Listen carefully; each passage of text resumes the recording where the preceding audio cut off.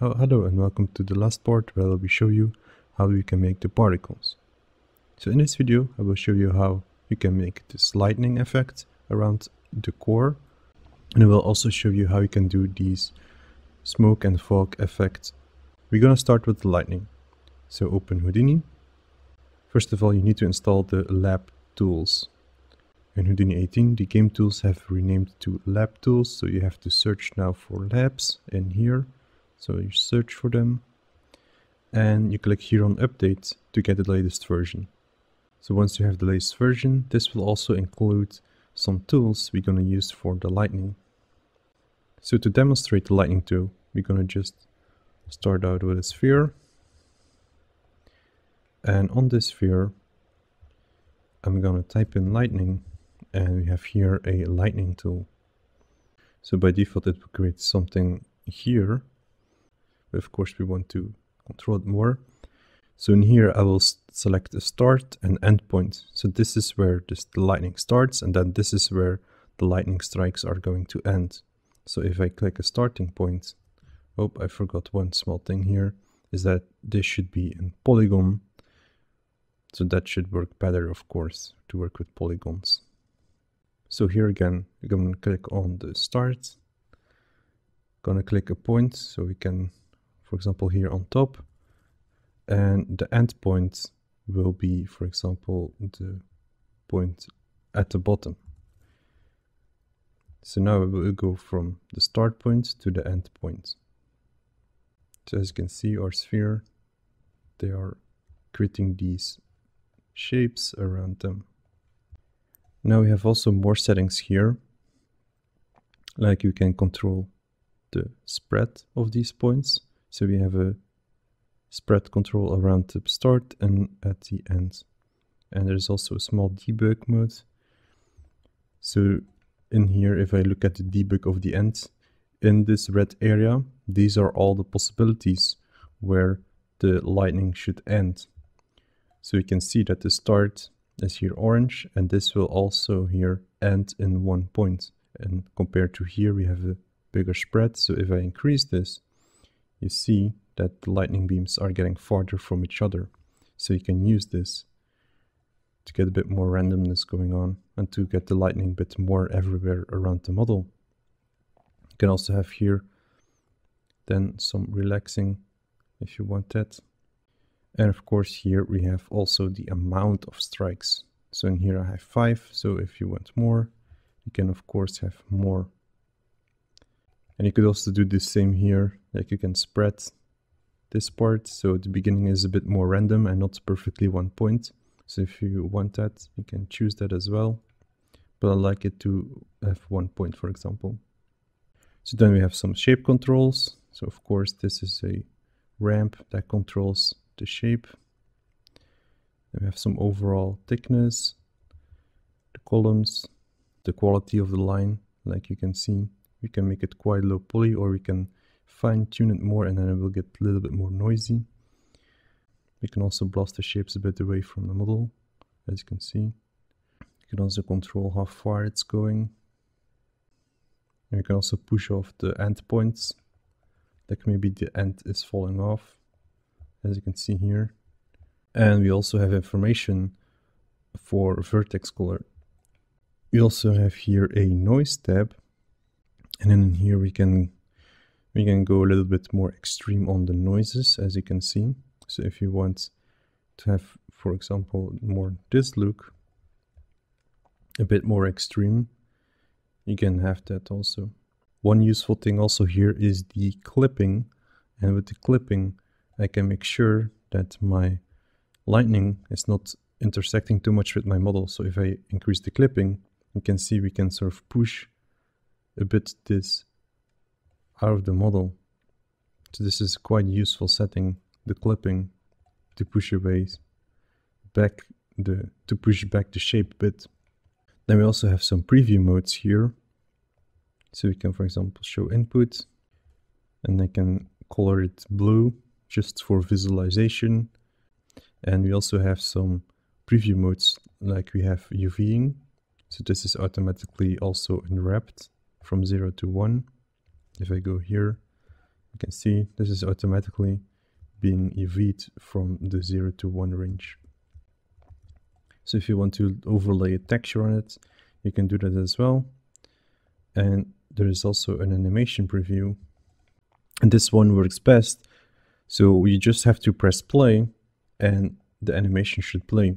So this is the result of what I'm having now. So we'll go over each individual model and th this will create like the lightning effect. So this will be the same effect I will be creating in the shader, which will also, based on the vertex color, show each individual model. So in here I will do a bit more manually, so you can see that one by one it's showing the model and it creates lightning effects. And also here we have an option to instantly save this to an FBX. So that's also nice to have. And we can also use the other inputs. So this is a custom beginning point and a custom end point. So if you want to, for example, we can do use an add node and enable this one. So this add node has now created a point I can move, as you can see. And we can use this as, for example, a custom uh, custom begin point. And you can see it's instantly going here. So if I move my point, you'll see that the lightning is automatically now being recalculated to the new point. But now let's say I want to use my core model to create the lightning effect.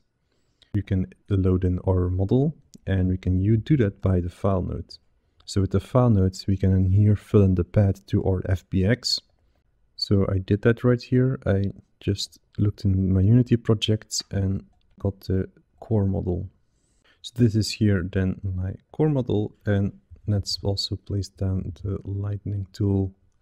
And of course we have to fill in some proper values. So, so let's say I want to have some lightning everywhere. So I'm just going to select the point at the top and I will also selecting a point at the bottom. And then we just increase the spreading and then we have a bit lightning everywhere. And I'm also going to go to preview modes and I will show input for now so I can clearly see what's going on. And I'm also going to color this blue, just pure, just for visualization. So first of all, maybe we need more of them. So I'm to add 10 and let's increase here the spread of the endpoints. And then we have this going on. So that's already looking pretty good. We can also play around with the spread of the beginning. Maybe that will be interesting. That can also be interesting. You can see it's uh, like a, a bit more random now. So if I would keep this on zero, you can clearly see that they are coming from one point to the end. But if I would go here, we can see that it's a bit more random and we can also debug this version. So based on what you want, you can then specify the spreading numbers. So in my case, for if you want to have something similar here, I took something a bit more random. Like you can also see here that there is not a specific starting point or end point. It just goes a little bit random. So that would be a similar effect you would be having. And I might go to, I think 15 to create interesting shapes. So if you're happy with the base setups, can we can go here to the noise then and start tweaking these noises.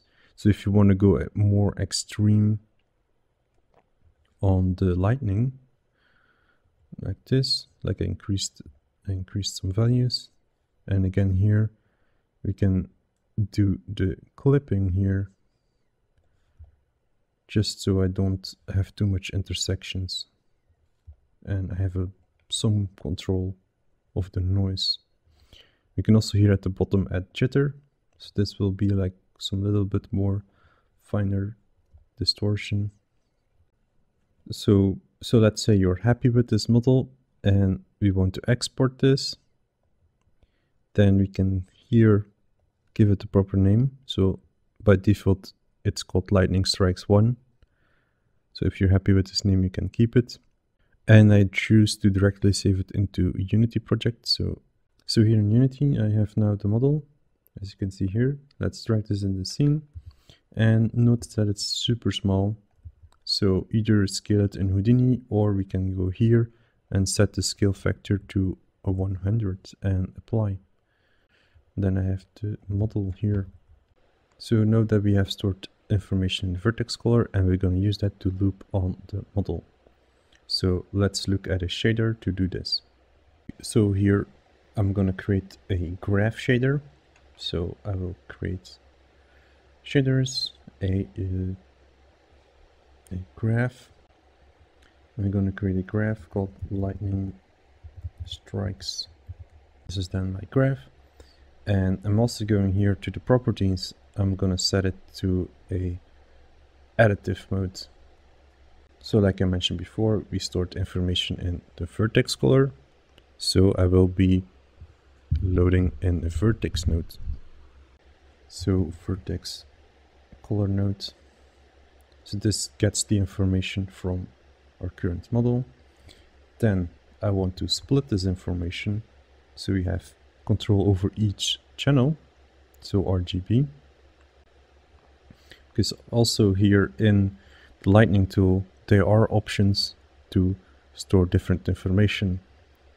So if I disable the previews here for a moment, I can go here and, for example, change this to a random number. So that means each line has a random number from 0 to 1, of course. And also there is a gradient. So if you are looking for a gradient effect, so if, if you put them all to gradient, you will see them in grayscale. So you can choose what is stored in the vertex color. So either it's uh, by order, so this is the default, a random number, or a gradient. Then you can use this vertex shader to get some more variations. So back here in the shader, so now I have my vertex color. Then I want to have the time, because we need the time to loop over each different color and I will create a modulo on the time. Then I want to multiply. This is the speed. And then I'm going to use the step node. Step node.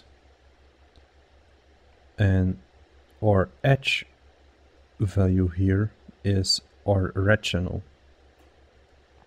And I want to connect this then over here. So we have this resultant and I'm going to copy the steps and I'm going to do the same here but instead of connecting these two I want to first do subtraction and I'm going to fill in here a lower value like 0.01 and connect this then here. And then these two steps I'm going to subtract them.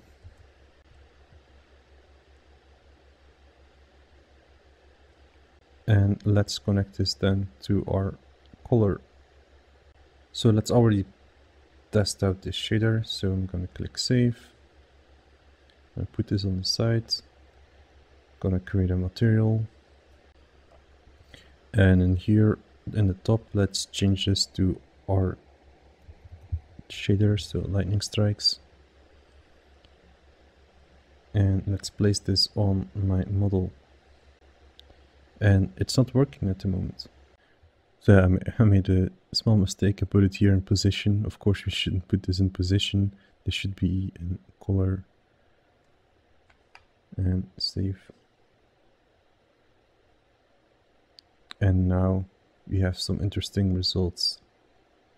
So let's also put this in alpha and save this again. And now you can see that they are like changing what's showed by these values. I'm also going to make some properties here so I can actually control how fast it is going and so on. So first of all, I want to create a vector 1 called speed and default value 1, drag the speed in here and connect it over here at the multiply.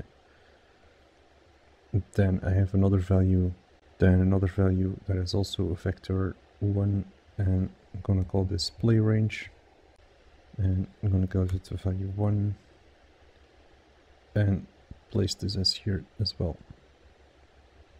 So click save.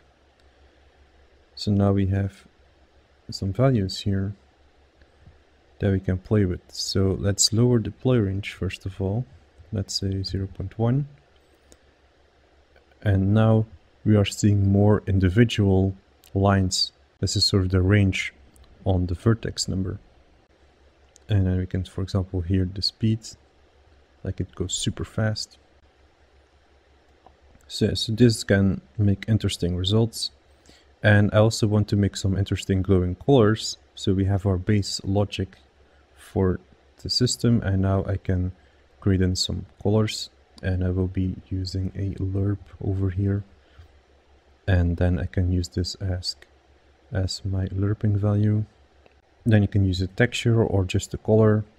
And I'm gonna set the color to HDR that's because we can here get the intensity and we can make it a certain color. And put this in color. Save. And this was way too much.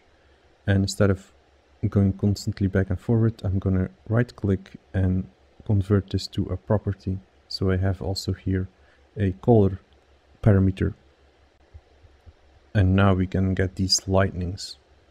And here I put them together so I put the core and lightning together. So then we have the effect that I had similar here in my Houdini scene. And again we can just play around here with the values to create the effect you're looking for. You can also from this point easy go back and forward. So if you think that these shapes are too thick they should be more thinner. Then we can go here in Houdini. We can for example instantly take the overall thickness over here and make them way thinner. And you can instantly export this. Go back here and now they are a little bit thinner. What we can also do here we can start playing also around with the vertex. So set this to gradient and click save and we instantly see then a new result which is this which is following a gradient along the lines. So this is also a cool result as well. So you can do a lot of cool things with one tool to create some lightning effects on the model. And you can also just copy this and then rotate a bit. And now I have this effect going on so at this stage, you just play around with the effect and going back and forward between Houdini and Unity. And then you can get interesting variations and so on. So that was it for the lightning part. So now let's move on to these fog effects. So what we first of all need is a is a texture of a smoke. And we can do that in a few ways. So by default, there is actually a procedural smoke tool in labs. So we can here click on place this node and then we have some smokes. Then we can here play around with some of the values to create a smoke shape you're looking for. I quickly here looked up my smoke texture and this is what I generated with this tool. So this is a quick way of doing this because it's already built in Node and we can just instantly see the result. There are of course other ways you can do it, but I, I decided to use the tools we have and then use this one. Now also I cheated a little bit for creating this is that I also just went in the front view and just took a screenshot from this fog so I don't have to render it and so on but you can render this out if you want a higher quality version. There are, there are also more ways of creating cloud shapes and smokes in Houdini. Like by default, there are some interesting shelf tools like cloud effects. Like you can create a whole cloud system if you want that. There are also here some uh, simple effects like some more smoke effects going on, but these are more for animations and so on. But if you want to create a, a sprite sheet, we can then simulate something in Houdini and make it into a sprite sheet. So this is the result I like and I would like to have that. So you can take a screenshot and then here I opened it in Substance Designer and I'm going to use and I'm going to use a merge alpha and I will use here a grayscale conversion and use this in the alpha channel. So I have this result. So also let's remove the alpha for a moment. And I would like to filter out some of the black values. So in the levels node we can grab here this part and we can then filter out these darker values so this is then ready and by default my resolution here is 1k so that's quite high for one smoke texture. So we can maybe lower it to maybe this uh, maybe a 200 and then we can just here click the save icon to save this current image. And then we can use this in unity. So now we have our texture and we can then use this here in a material or in a shader and material. And the next step is then creating this model. So I've made a small tool for this. So here I've made a small tool for this where we can draw a line and a shape is swept on this line. So this tool is pretty simple in setup. So if you're if you already followed a couple of tutorials, this is nothing new. So the way how this tool is built is start out with a line, then I resample the line, so we have multiple points here. Then I do a facet node, which will clean up the line. So if I would enable the points, we can see that in here, in this part, the points have been removed. Then I will be selecting end and begin points, and these will then be colored in a gradient. So you can see that this part and this part has a black value because we have a small gradient. Then I smooth out this gradient. So why do we have this gradient? This gradient is used for the beginning and the end of my material. So if my smoke moves, when it comes to the end, it will slowly fade out. If I go here in Unity, you can see that at the at the end you can see that it slowly fades out. You cannot really see it a lot, but you can see that there is some fading.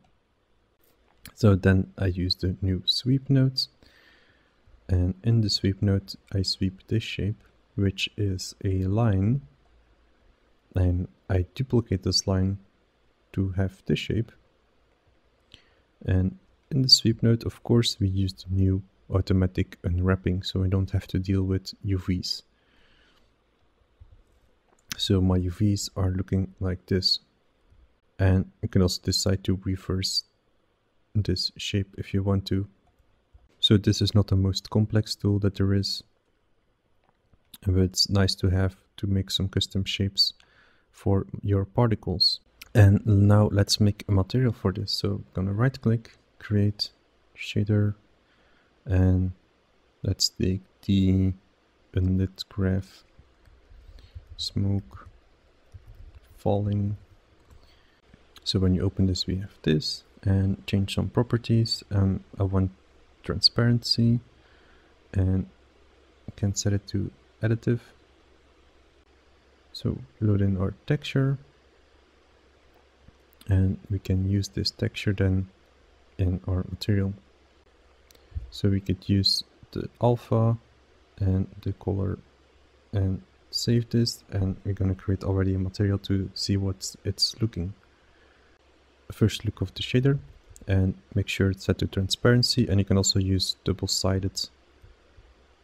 So that's the first step. Now let's bring in some motion And the way we can do that is by using a tiling and offset node.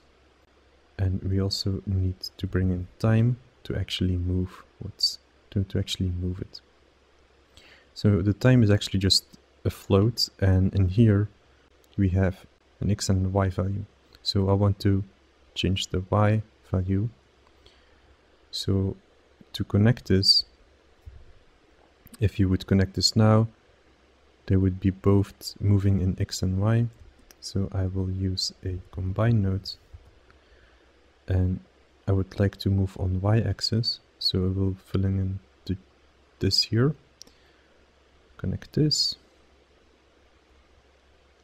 connect this here in the UV and we can see it's moving now. And click save. And now it's moving. Maybe it's moving in the wrong direction, maybe I want to move them to the other side. So I'm gonna use a multiply here and I will fill in also here a vector called speed and we can control the speed then outside our shader graph. And now we have here a speed so I can go minus now. Then we also had the vertex color that I talked about and let's load in the vertex color so the beginning and the end have some vertex information and I want to multiply this value. So here and here. Let's save this and let's see if this makes any changes. And as predicted we can see here that's fading out the result. So it's not that harsh anymore. You could also bring in a multiplier in here. So multiply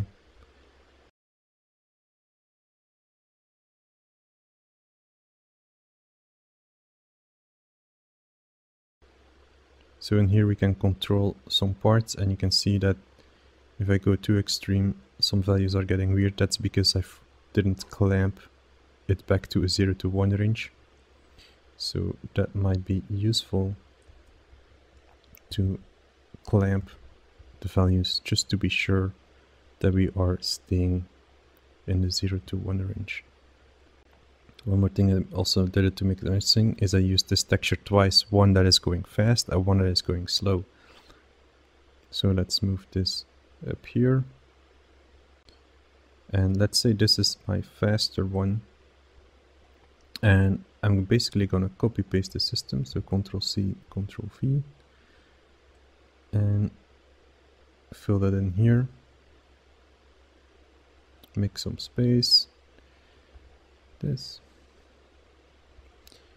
So what we did here, we took our current time and make it twice as fast. So this is, as you can see here, it's going faster. Or you can just make it go slower if you want to, like if you put 0.5 in it, it will go way slower than the other one. Then we only need to combine these results. We can use an add node,